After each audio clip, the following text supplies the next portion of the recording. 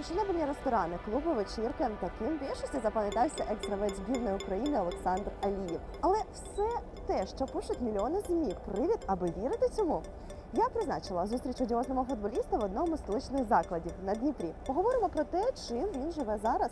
Тож за 10 хвилин вже має прийти, а я вам раджу не перемикати канал.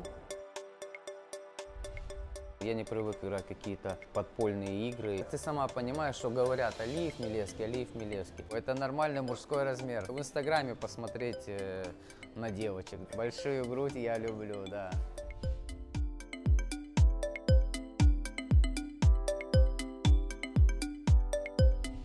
Я привык быть всегда, чтобы люди общались э, и, смотря друг другу в глаза, говорили только честно. Для меня это самое главное. Не было каких-то за спиной, там, а вот так вот э, говорить друг другу всегда в глаза. Я не привык играть какие-то э, подпольные игры, и я всегда привык общаться. Если мы общаемся, значит мы общаемся как не имеет значения, женщина это или мужчина, но мы должны общаться честно. Мы же смотрим друг другу в глаза, для чего мы садимся тогда общаться.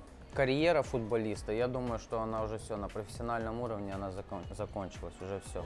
Ну, уже и 33 года, и давно я не был в профессиональной команде, и давно не проходил сборы, хотя для меня, я знаю прекрасно, какой я футболист, для меня месяц-полтора просто именно по- потренироваться, пройти сборы с командой, и я выйду на тот уровень, на котором я был. А то, что именно тренерская карьера, да, для себя я решил уже все, именно заниматься тренерской карьерой. Ви кажете, що от місяць-два і ви можете вийти на ту форму. А чого нічого не, не хочете? На данный момент таких предложений у меня конкретных не было. Для себя играю в свое удовольствие, там, на область, то, что у меня есть моя детская школа э, в Буче, и вот я изъявил желание поиграть на, на область, чисто для себя, для поддержки формы, чтобы не поправиться, не, не, вырос, не вырос живот. Ну, скажу честно на данный момент, что именно так, что я именно тренирую, я не могу сказать. Я просто приезжаю, есть э, тренера, которые мне помогают. Мне интересно, еще раз говорю, мне очень интересно,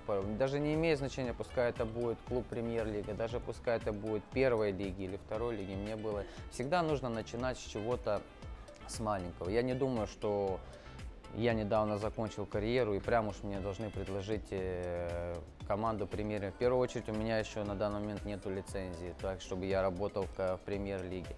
Все нужно начинать э, потихонечку. Я даже готов уйти э, с той командой, если у команды ставят перед собой большие цели, и идти даже с самого низа и поднимать, поднимать ее к, к вершине. А Динамо очолили б?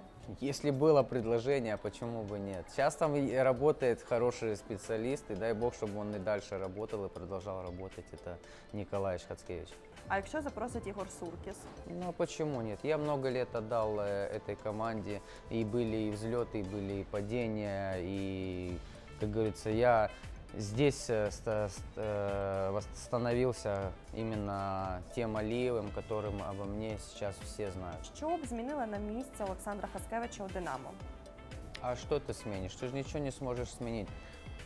Николаевич работает, э, как говорится, с, тем, с теми людьми, кто есть на данный момент. Ты же ничего не сможешь делать. Я уверен, что максимум то, что есть Николаевич, то, что Ма- Максим Шаских, то, что Романыч Лужный, они подсказывают ребятам, но они же не могут выйти на футбольное поле и играть за них. Сейчас такое вот э, нынешнее поколение киевского «Динамо».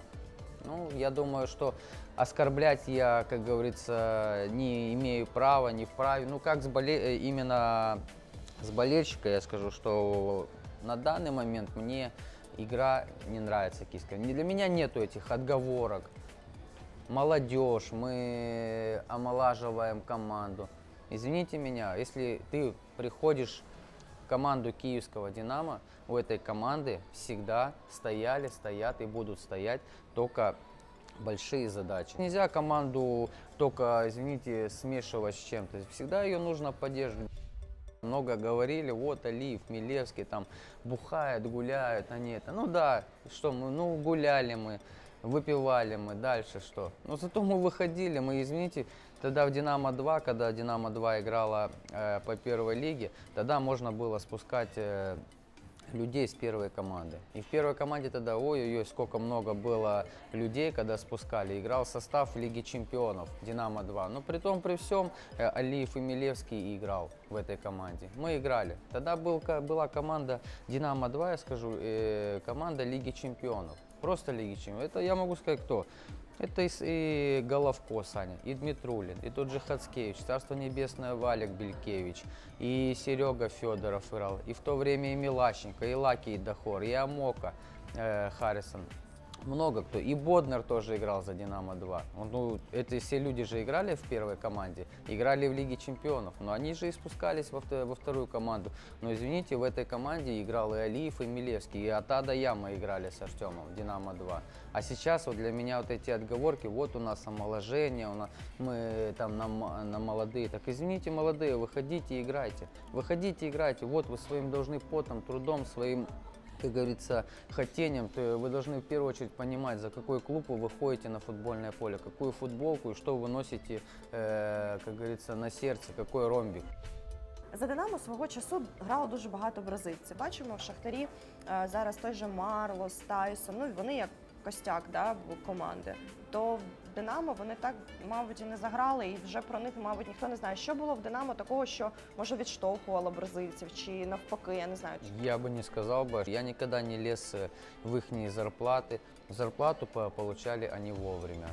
Для меня, еще раз говорю, это не будет никогда, я ничто не, воспри- э, не буду воспринимать, вот как любит э, говорить там, э, хотя я к нему отношусь с, с очень хорошим пониманием к Михалычу Суркису. Для меня это не отговорки, вот приезжает иностранец, ему нужна адаптация. Какая адаптация? Вы покупаете игрока за большие деньги, за миллионы. Вы его покупаете для чего? Чтобы он сюда адаптировался. Тогда вы поедете в ту же самую Бразилию, возьмите э, ребенка 12-летнего, привезите его сюда и пускай он здесь тренируется, растите его. Я приехал в Локомотив. Мне же не надо было отговорки какие-то и говорить, что вот у меня должна быть адаптация или чего. Я вышел, я прекрасно понимал для чего. Да, я переходил там, э, пускай тоже и с большим скандалом, скандалом тем, что и болельщики, я читал отзывы, вот там он алкоголик, он там это, то, и меня это в первую очередь э, подбадривало в том, что я хотел доказать в первую очередь и себе, и тем людям, критикам. Бразильцы, все, у них здесь есть все, шикарные квартиры, шикарные условия для них, э, зарплаты, им все платили вовремя, где-то надо и машины. Может быть, э, это вина и президента, то, что он пла- платит, я не знаю, я никогда не узнавал. Большие деньги, у них это голову сносило. И много кто, ребята, тот же самый Ринкон, э, он- мы, когда он приехал, мы сначала, я вам скажу честно, я был удивлен, кого пригласили, но потом, извините, один из лидеров стал. С киевского «Динамо» никого не продали в европейский клуб.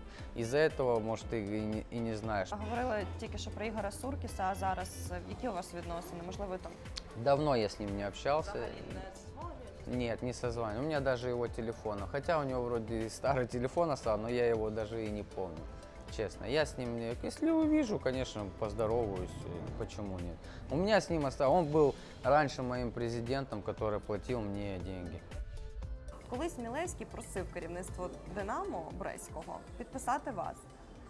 Що б змінилося б зараз у вашому дуеті через такий довгий час? Ну, он мне говорил, там, Кент, я у него спрашивал, может быть, он говорит, ну, я спрошу.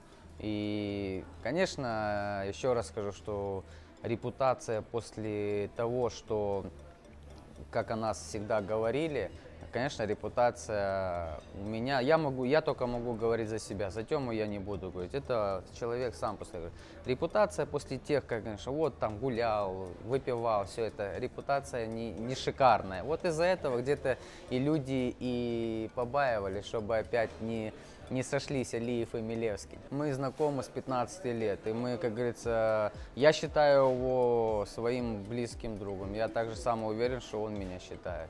Мы на футбольном поле понимали друг друга, ну, как говорится, не надо ни кричать, не надо ничего. Мы понимали, ну, вы, я думаю, сами все прекрасно видели, как мы понимали друг друга. Так же самое и за футбольным полем мы понимаем друг друга. Я не хочу не хвастаться, я не хочу ничего говорить, но я могу сказать, как вот ты говоришь, что ты молодое поколение.